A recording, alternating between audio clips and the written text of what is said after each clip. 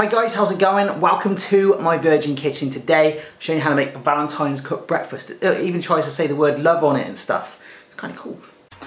Uh, there's a place in your house where it's cool to chill, get some me time, or even cook a meal. It's your kitchen mofo, ain't no time to slack, so just grab yourself a penny and let's work that ass. If you're scared of this place, ain't no need to bother, just lay down your weapons and pick up another.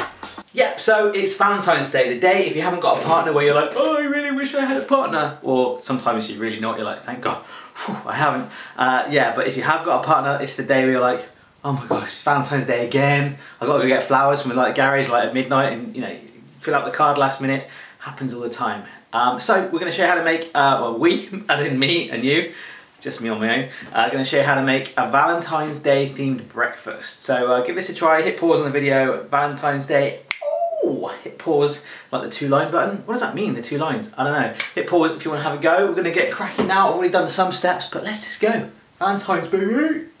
Don't know what that was. Let's go. Alright, so let's grab our swim caps, put them on, and then dive straight in. I want to say jive then, like jive bunny. Uh, dive into this recipe. Uh, bacon strips there, about three. These are some baby plum tomatoes, which I've halved. But if you halve them in a slightly different way with an angle, just a slit straight down right at the end, you can make a little heart shape. How romantic is that? But I'm not feeling that soppy today. You could do that. Uh, I've got some sausages, two that I've halved just because they'll cook quicker. And in your country, some of you are like, I can't get sausages like that. So uh, just use your sausage of choice. And that, my friends, is a Valentine's pun in itself. So we're just going to glance right over that. Uh, this is a pan full of mushrooms, which we're just going to sort of fry up. Maybe some butter, balsamic vinegar in there, salt and pepper, just to let them weep, shrivel up, and we'll just play around with it. Maybe spell a funky word with it. Uh, right here, this is not pineapple. These are squares of potato, which I've just parboiled, so nice and soft. But we're going to sort of fry them up to give a like nice crispy potato crouton feel. Ooh, it's getting spoiled, this recipe. Uh, this is some bread with like a heart shape in it. I saw some, well, I've seen lots of people do that on Pinterest, so I'm factoring this into the recipe. We're basically going to fry an egg in the middle of the bread. So by cutting out a heart shape, we'll have a heart-shaped egg. And last but not least, we've got some baked beans. Now those, my friends, not going on the stove. They're going modern technology in the microwave right at the end. Super, super lazy. Let's just get on now. Right, so first things first, I've got a flame there and my mushrooms are just sat on there, but they're kind of dry right now. So I'm adding a tablespoon of balsamic vinegar, just to give it a nice twang. Very healthy coating of olive oil, but that could be butter instead if you prefer. Maybe about two and a half tablespoons of that. Oh yeah.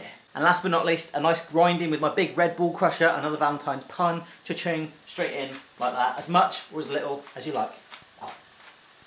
Yep, so I'm just stirring that round, getting it all nice and evenly coated, and those mushrooms will shrivel up pretty darn fast. So I'm going to move that a little bit further to the back, and we'll start to get our grill going. Yeah. Right, so my grill hardly ever starts, and I was just there getting a, bit emotional going, please start, but it did, okay? So it's getting nice and warm. This pan here is gonna be for our bread and our potatoes, so onto that heat that we just had right there, but let's grill up the bacon, the tomatoes, and the sausage. Right, so in these go. I did the mushrooms first because they're easier to play around with. You know, they will shrivel up, but if you've got a little bit of extra time to play with, you can heat them just towards the end as well. So let that grill in there, and let's move on to our other pan with our bread and potatoes. All right, so I'm gonna use a pan pun right now. We are gonna pan to the left to look at our pans. Are you ready? Here we go. So we have got our mushrooms there, just chilling out, doing their thing, on a, quite a low heat now, but it's all good. We can blast them up. They're softening up already and it's smelling great. But right here is our other pan for our bread and our potatoes. There's no oil in there. So if we pan back, pan, pan, pan, pan, pan, what we'll do is squeeze out the heart shape, pull out that bread in the middle, and we'll fry up our potatoes alongside it just to brown them all around the edge. So let's go for it. Righty ho, so with your heart-shaped bread ready, what you're going to do is put it in a pan, just one side down. We're going to toast that side, and the other bit will be toasted when we pour our egg in there. So here we go. Let's just push that in like that. Just want to crisp it up. You could even have one hard, like side hard and toasted, the other side soft, but you'd have to do the egg straight away. So now you've got a little bit of space. Just put in your potatoes, which you parboiled earlier. Just little cube, and I just dropped some on the floor. Little cubey potatoes in and around it. Can you hear them sizzling straight away? Oh yeah. So while that bread is toasting one side, that little bit that you cut out, that section from that heart, eat it.